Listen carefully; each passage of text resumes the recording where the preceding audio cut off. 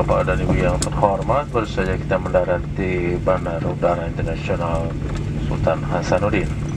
Selamat datang di Makassar. Silakan tetap tinggal duduk sampai pesawat ini berhenti dengan sempurna dan lampu tanda kenakan sabuk Muhammad telah dipadamkan. Untuk sementara waktu, semua telepon seluler harus tetap dimatikan sampai Anda berada di ruang kedatangan. Bapak dan Ibu dengan lanjutan penerbangan dimohon untuk menghubungi petugas darat kami di bagian pindah pesawat. Dan sebelum meninggalkan pesawat, kami ingatkan untuk memeriksa barang-barang bawaan Anda. Kami ucapkan selamat berpisah dan terima kasih atas penerbangan Anda bersama Garuda Indonesia anggota dan SkyTeam. Bapak dan Ibu yang duduk di kelas eksekutif, kami mohon untuk turun lebih